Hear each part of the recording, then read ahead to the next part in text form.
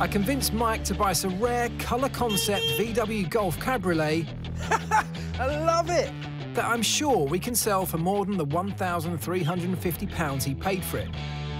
I had to twist his arm because he has a serious aversion to yellow cars. But you know what? I love it. Partly because it's fun and it's cheap, and partly because it reminds me of the first car that I ever bought, a bright yellow VW Beetle. And on top of that, they're really easy to spot in a busy car park.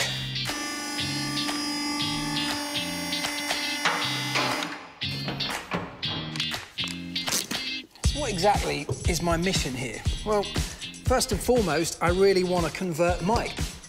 Grey, black and white are the UK's favourite colours for new cars, but it's a trader's secret that yellow cars and other bright colours depreciate slower. I did an internet search and found there are only four yellow Golfs of this age still on the road, compared to over 11,000 in silver. And that rarity means that if we get it right, our yellow beauty could be worth a tidy sum. However, I would be quite happy to sell this to a driver that has a smaller budget who can get as much joy out of a fun, summertime, cheap car as I did when I first bought mine back at age 17. First thing to do to attract a yellow car fan is to sort the damage caused by 18 years and 114,000 miles of motoring. Now, both rear wheel arches on our Golf have been affected by rust. Now, I had hoped to be able to just rub this down and repair it, but on closer inspection, the rust has actually gone all the way through to the other side. So, what I am going to do is take away the minimum amount of metal as possible to maintain the structural integrity of this area of the car. But before I start any of that, there are some important safety precautions that I need to take first. Cutting and repairing the corroded panel will create red hot sparks, so I'm making sure that both the car and myself are covered up.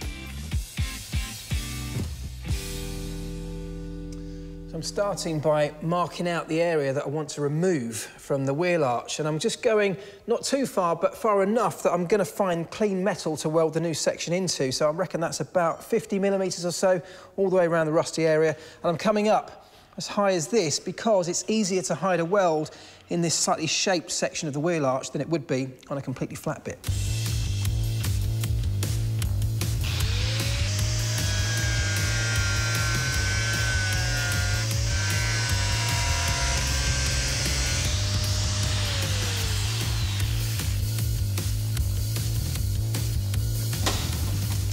Go. Now, I've managed to find two replacement wheel arches online for just 26 quid each, and it allows me then to just cut out the section that I need to repair our car. By only using a small part of this fresh panel to make my repair rather than the whole thing, I'm helping to preserve that all-important structural integrity. I'm going to add on around 10 millimetres all the way around the outside of that so that we've got a little bit of extra material that'll slot behind the panel on the car just to give us a bit more strength.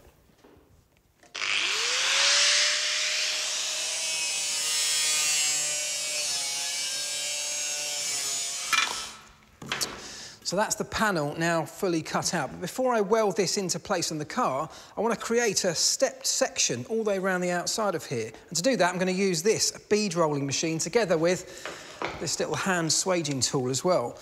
The reason I'm doing it is twofold. First of all, it gives this a bit of added strength. It doubles up the material when we apply the piece to the car. But it also just gives this piece, this panel, a bit more rigidity. So when we apply the heat from the welding process, it's much less likely to warp. The stepped edge created by the bead roller will ensure the replacement panel sits snugly into the gap I cut out of the Golf. Now that's as far as I can go with the bead roller because of this angled return on the piece of metal here. Can't fit it in the machine. So I'm swapping to a more refined tool. Now this swaging tool is going to give us the same depth swage as the bead roller over there, but because it's smaller and a lot more nimble, I can get into these tight confines of these intricate corners a lot more easily. There we go.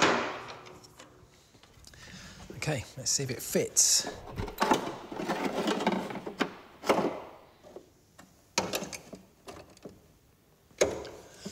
Okay, there we go. So the piece is now clamped in position from behind, which means I can now get the welder out. I'm going to tack it in the corners to hold it in position and then apply a series of tacks all the way around, spaced out by about 15, 20 millimetres.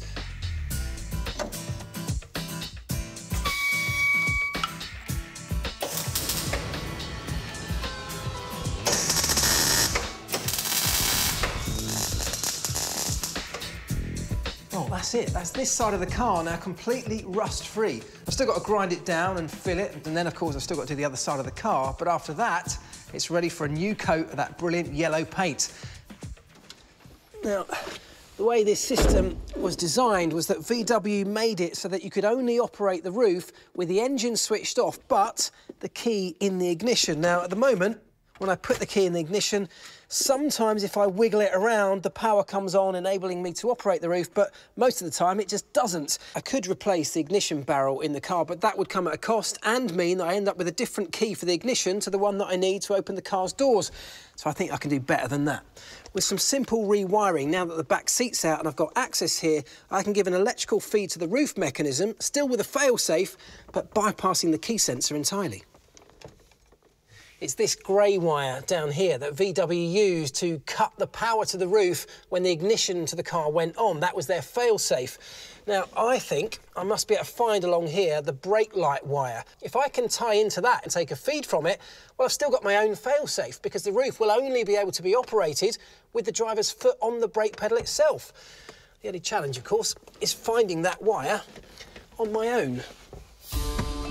Operating the brake pedal at the front of the car whilst using a voltmeter at the back isn't easy.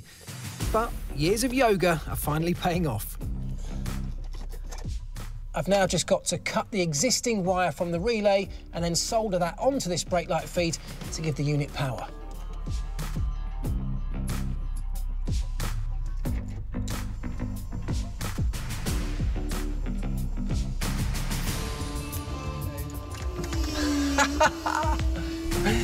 Yes, it worked, which means this car is genuinely now a convertible. And we're one step closer to hitting the open road with our open top Golf.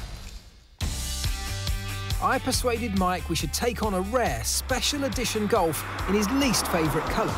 Look how yellow that car is. That's horrible. You know I can't stand yellow cars. it was up to me to change his opinion. And now, thanks to my low-cost improvements... Look at that. It's absolutely gleaming and an initially sceptical Mike getting involved. I will say that is a, a brilliant contrast, especially with the yellow stitching. Our special edition convertible is almost ready to hit the roads and put some smiles on people's faces.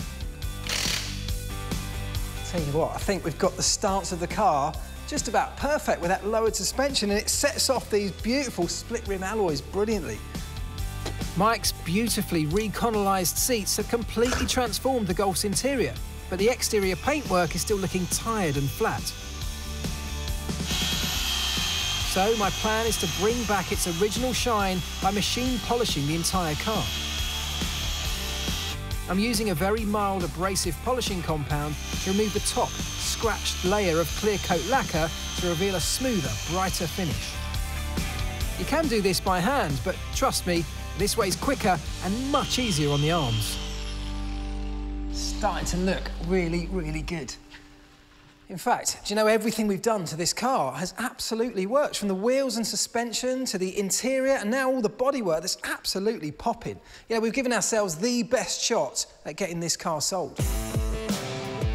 I'm chuffed we've managed to turn our tired canary yellow soft top into a beautiful and desirable cabriolet. And most importantly, it hasn't broken the bank. We paid just £1,350 for the car. The rear arch repair panels cost £52. Refurbishing the wheels, £240. Reconalising the leather seats, £600. New adjustable coilover suspension, £200 fitting the new windscreen £234, giving us a total spend of £2,676. Money well spent, not least because I reckon this new look will finish the job of winning sceptical Mike over to the joys of a yellow car. Click here to subscribe.